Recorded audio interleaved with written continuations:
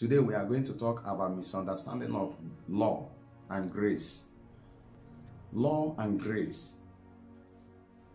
Some people say that they are under grace, that law is no longer existing, that Christ has abolished law.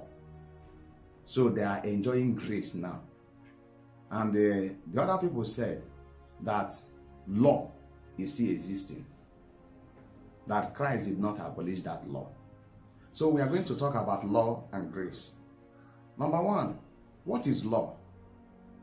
I understand that law is the rules and regulation in any state or any country that regulate that the citizens of that country. And in obeying it has reward, in disobeying it has consequence.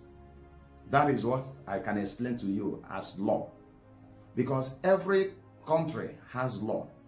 There is no country without law. And whenever you see a lawless country, it will not never be classified as a country. Don't forget that heaven is a country entirely, and the earth is another country, two realm, heavenly realm and earthly realm. So, law is rules and regulations. God mapped out. So, what is that grace? What is grace? Grace is ability to obey God. That is what I understand about grace. Grace is an ability to obey God, ability, someone to have strength and ability, spiritual empowerment to live according to God's demand. That is grace. So now, the Christ abolished law? And if yes, what kind of law Christ abolished? Don't forget that the word of God is law. Every word of God is law. Because Bible says, forever, O God, your word is settled in heaven. So even Satan mark the word of God very, very honorable. Angels of God value God's word. Satan value God's word. So the word of God is law. From Genesis to Revelation, every word you see there is law. Because it is law, because God is not is not running democracy. What operates in the kingdom of God is theocracy. Theocracy, if I may, theocracy. That is the, the, the leadership of God. God being the senators. God don't need house of assembly, don't need house of rep, don't need anybody to contribute for him to make law. Every word he said stands.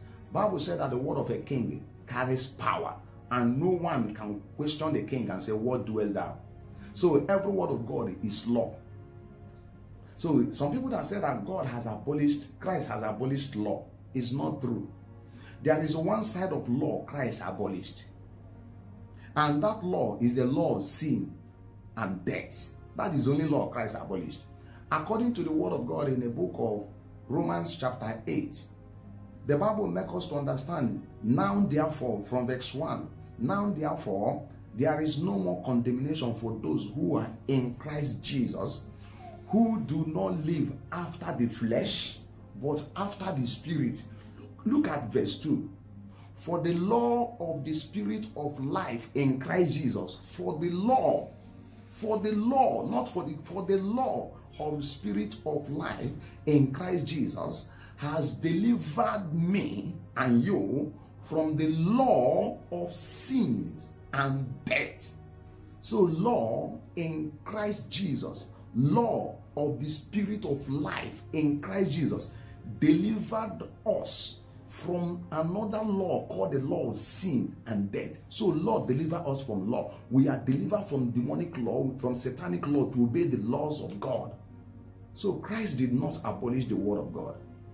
The law Christ abolished was that ceremonial law, that law that that, that said uh, that law, like for example, for example, that said, oh, you cannot plant two variety of crop in a one piece of land. That is to say, you cannot plant cassava and plant maize together. In olden days, he said you cannot plant uh, pumpkin leaf and plant um, tomato together.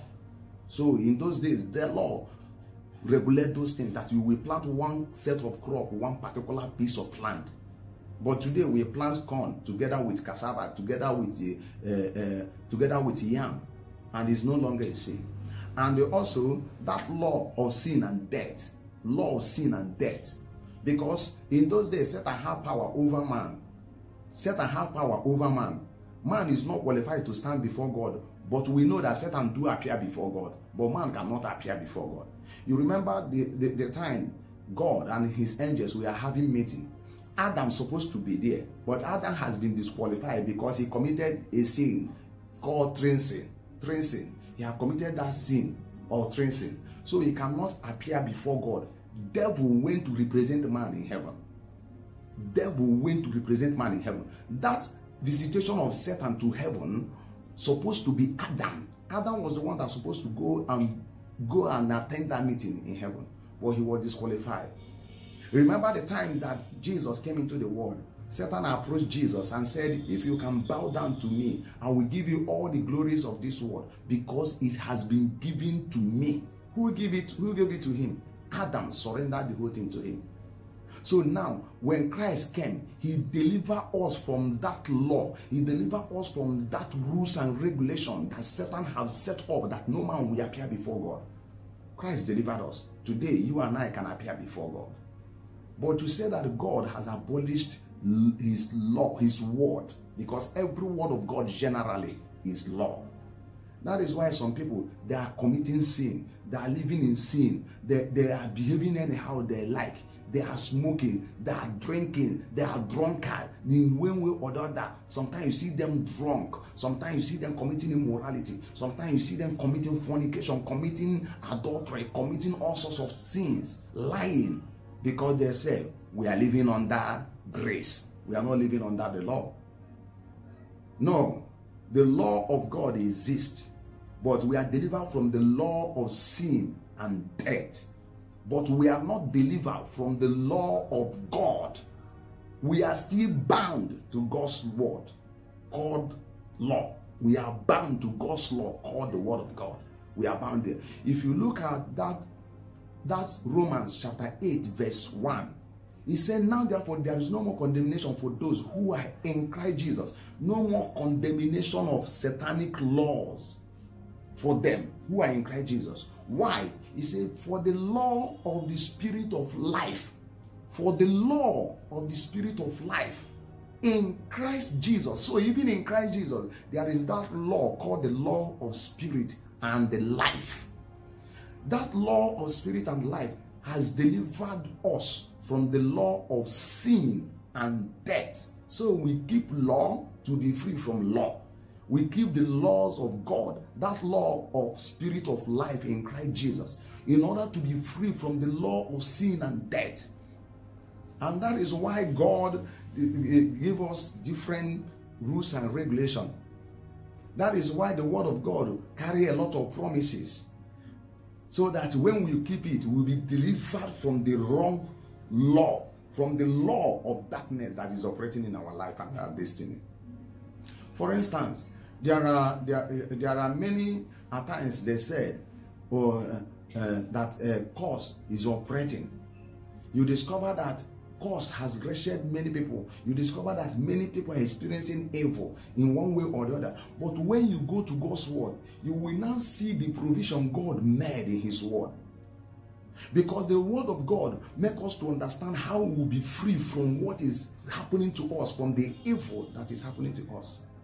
The word of God make us to have give us an example, or if I may call it expo, how to be free from the demonic realm, how to be free from that demonic law, from that law of sin and death that is existing in our destiny, existing in our family, in one way or the other. Sometimes they call it family cause, sometimes they call it this and that. But the word of the Lord make us to understand. So when you go to God's word and see what the word of God say and begin to engage in that word of God, in keeping the laws of that word of God in that area, you need solution that is the law of spirit of life in Christ Jesus, which will deliver you from the evil law of sin and death, of poverty, of wretchedness, of miserable life, of premature death. It will deliver you from every one of them.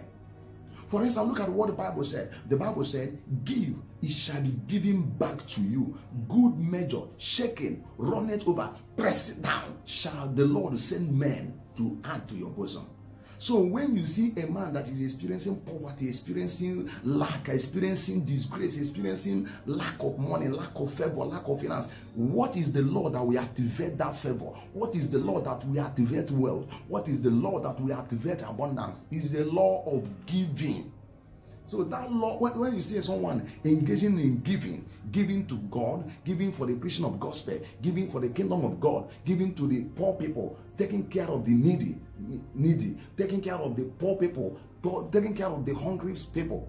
Now he is activating the law. He is operating on the law of the spirit of life that the Bible told us that is in Christ Jesus, it will deliver that individual from the law of sin and death. That is the law of poverty, the law of lack, the law of wretchedness, the law of miserable life.